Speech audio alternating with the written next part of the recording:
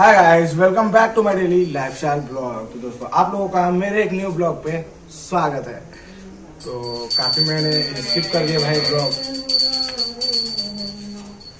फ़िलहाल घर में पूजा पाठ चल रहा है और दुकान ना बहुत लोगों का ना भी बंद चल रहा है। मार्केट चौपाटी का ना पूरा का पूरा बाजा बजा हुआ है। ठीक है। ठेला वगैरह तो मैंने कल पूरा का पूरा साफ़ कर लिया अपना मेरा मूंगफिला का तावा वगैरह जो भी है सारे के सारे चीज़ मैंने साफ़ कर लिए हैं। मैं सोचा था कि आज से शॉप वगैरह खुलूँगा लेकिन मार्केटिंग में बहुत ज़्यादा बुरा हाल है और पापा को मेरे ख्याल से शॉप वगैरह नहीं खुल रहा है। देखते हैं खुलता है कि नहीं खुलता है। तो मैं एक, तक, एक, एक तारीख की दुकान हूँ एक तारीख से मेरा रेगुलर दुकान वगैरह खुलेगा। इधर भी दिखा दो। चलिए देखते हैं। कि भाभी आज क्या चीज़ बना रही है खाने पीने पे? और हमारे भाई साहब भी गए थे, वो भी आई गए हैं वगैरह। तो ब्लॉग में बहुत सारी चीज़ें लिंक तो मिलेंगी, बस थोड़ा थोड़ा थोड़ा थोड़ा थोड़ा थोड़ा थोड़ा। और एक तारीख से ना कुछ आर्ट चैलेंज भी चालू होने वाला है, ठीक है? और सही बात बताऊँ ना तो ये रहेगा ना फिफ्टी डे रहे या हंड्रेड डे ठीक है? फिफ्टी डे या hundred day iPhone hard challenge मतलब मैं पचास दिन की कमाई से यूट्यूब और अपने शॉप से इतना पैसा कमा सकता हूँ क्या कि मैं एक आईफोन खरीद सकता हूँ या फिर hundred day iPhone hard challenge आप लोग कमेंट करके बताना। इस टाइप से मैं कुछ सोच के रखा हूँ ठीक है? तो मैं आप लोगों से थोड़ा सा शेयर कर रहा हूँ इस चीज़ को। क्या ऐसे ही रहेगा? मतलब फिफ्टी डे ठीक रहेगा या हंड्रेड डे तो मतलब अपने यूट्यूब के इनकम से और अपने ठेले के इनकम से, दोनों से मिला के क्या मैं एक आईफोन मतलब एक मोबाइल खरीद सकता हूँ क्या करके? तो चलिए देखते हैं, जैसा रहे, जो भी रहेगा भाई। हार चैलेंज है। एक तारीख से या दो तारीख से। अगले मंथ से ये स्टार्ट हो जाएगा, ठीक है? तो आप लोग मेरे को कमेंट करके बताना। ऐसा सोचा हूँ कि ऐसे ही रहेगा करके। और कैसे चल रही लाइफ यार? बताओ सब्सक्राइबर लोग। अच्छी चल रही है। हाँ तो सब लोगों को धन्यवाद कर दे भाई। जितने लोग भी आए थे भाई देखो सब लोगों का धन्यवाद। जो सपोर्ट किए उनको भी जो सपोर्ट नहीं किए उनको भी धन्यवाद। जो आए उनको भी धन्यवाद। जो नहीं आ पाए उनको भी धन्यवाद। ठीक है? और बता भाई कैसा रहा हाल चाल?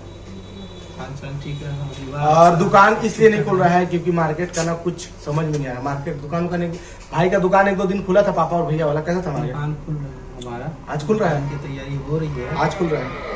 छोटी छोटी बातें जो भी है वो होती रहती हैं। हाँ। शादी हो या बड़े से बड़ा कोई प्रॉब्लम हो करते रहेंगे।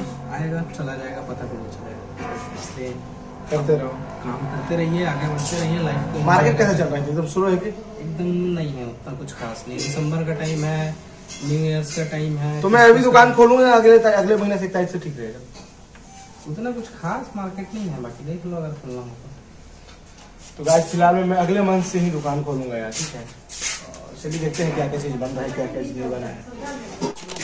तो ब्रो देख मैं तेरे से एक तो छोटा सा सवाल पूछना चाहता हूँ अच्छे से बताना ठीक है? तू लगभग आधा घंटा पहले गया था अभी ठीक है?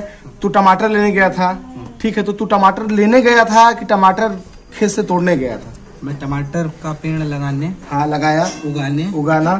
ठीक है? हाँ। उसके बाद तोड़ने हाँ। और फिर लाने गया। अच्छा ऐसा इसलिए टाइम लग गया।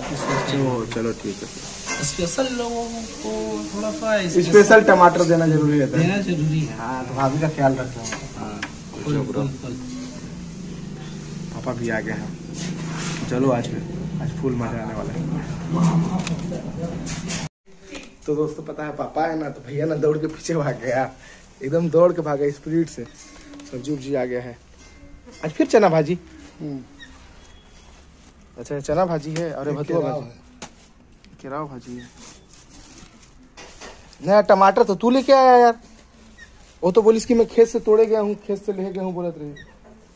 ए माँ माँ ये तो भाजी ऐसे भाजी तोड़ बर।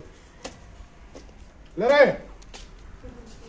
दुकान नहीं खुले थे पापा? घरे धान काट के रखी से ना बंद करत हो ना दुकान सही में। का कर फालतू?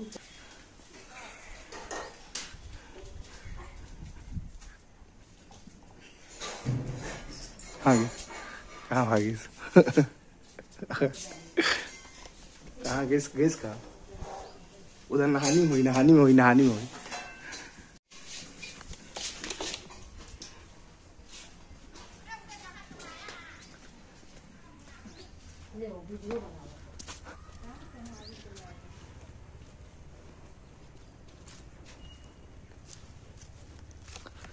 इधर भी तो नहीं है यार। कहाँ भाग गई? एक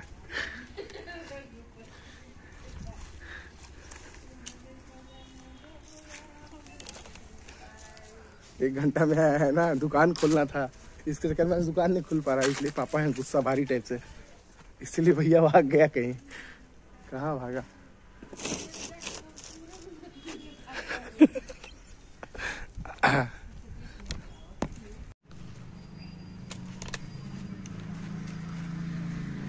एक घंटा में आया भाई आधा घंटा नहीं घंटा।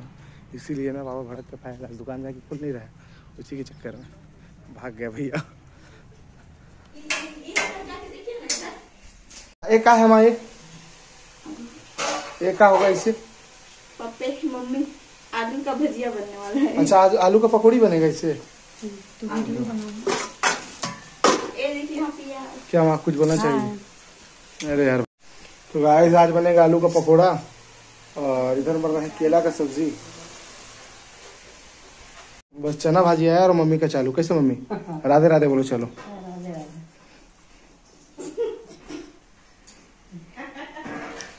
हाँ हाँ गाइस आप लोग को मेरे को पता है आप लोग सोच रहे हो कि ब्लॉग में भाभी क्यों नहीं दिख रही भाभी दिखेंगी भाई। ये भाई थोड़ा सा रुको वेट करो आप लोग।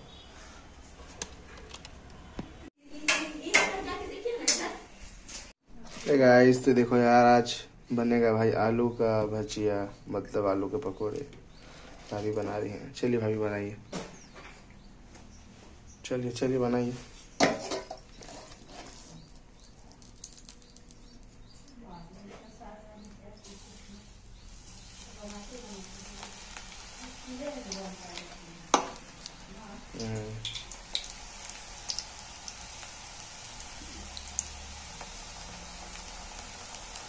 मम्मी इतना सारा साग माँ का फेवरेट है चना भाजी ले, नमक भी रख लिया चखना है तो अलग से चला था पार्टी मुँह नहीं धोया तो खा ले ओ भाई साहब ये देखो आप लोग आलू का पकौड़ा बन चुका है तो चलो भाई बैठते हैं भाभी चटनी बन रहा बन रहा है बहुत ही मस्त बना है हाँ? काट ही दीजिए। काट दीजिए।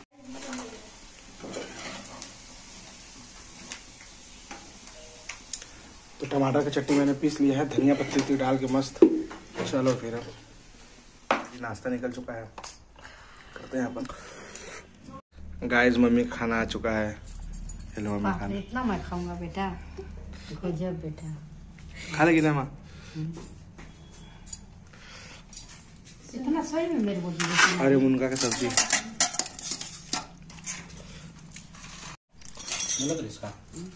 काहे भाग रहा भैया? देखिए पापा को।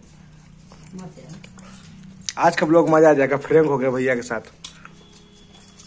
और फिर आज में आ गए तो मैं चौपाटी की तरफ़। दो तीन ठेले लगे हुए हैं। ज़्यादा लगे हैं। तीन चार पाँच ठेले लगे हुए हैं। आप लोग फुल्की चाट कहीं लगा है मोमोज का। और इधर आशीष का लगा हुआ है। आशीष बना रहा है अभी चाय। अरे तुम और फ़ोन तो कैसे ब्रो नहा धोवा लिया हूँ। और नहाने धोवाने के बाद मतलब चार बजे के आसपास नहाया और खाना मैं खाया हूँ जस्ट अभी। ठीक है। और तो करते हैं हमारे चौपाटी का मैं भी दिखाऊँगा।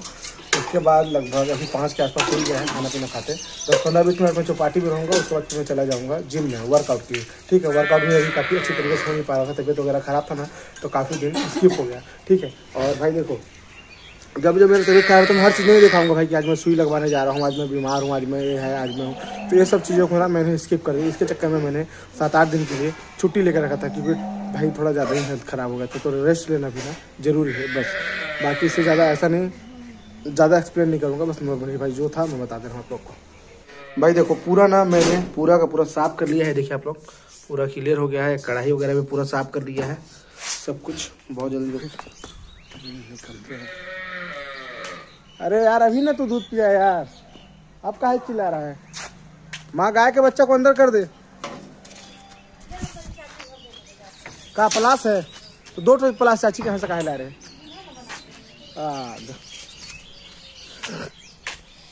गाइस, मेरे पास डंबल है, लेकिन पता है मतलब ऐसे एक्सरसाइज वगैरह वर्कआउट वगैरह तो ठीक ठाक है, लेकिन जब आदमी का हेल्थ खराब हो जाता है तो आदमी कुछ भी नहीं कर पाता यार। दस बारह दिन में बहुत ज़्यादा वेस्ट हो गया भाई मेरा। सॉरी रह गया उसके लिए। देखो आप लोग। दो तो प्लास। चाची है का? ठीक। है चौपाटी तो का थोड़ा मोड़ा व्यू देखो आपको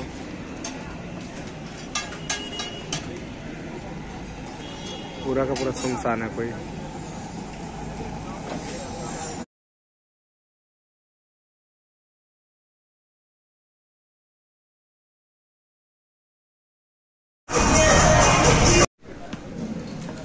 गाइस जिम से आने के बाद वर्कआउट से आने के बाद मैं वेज मुझे तो कुछ खा नहीं सकता तो प्रोटीन खा रहा हूँ प्रोटीन में सब करना ठीक है? रोज की दुकान पर है कर देना ब्रो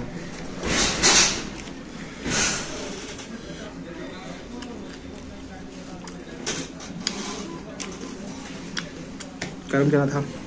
सब कुछ ज़्यादा फली दाना वगैरह अनार वगैरह सब। मतलब अनार अनार वहाँ से नहीं दीपक भैया के पास रोड से लेके डाल दिया था मैंने ऊपर से। एक दो दिख रहे हैं, ये देखा वो तो गाइस फ़िलहाल मैं जिम से वर्कआउट होने के बाद थोड़ा सा चपाटी में था।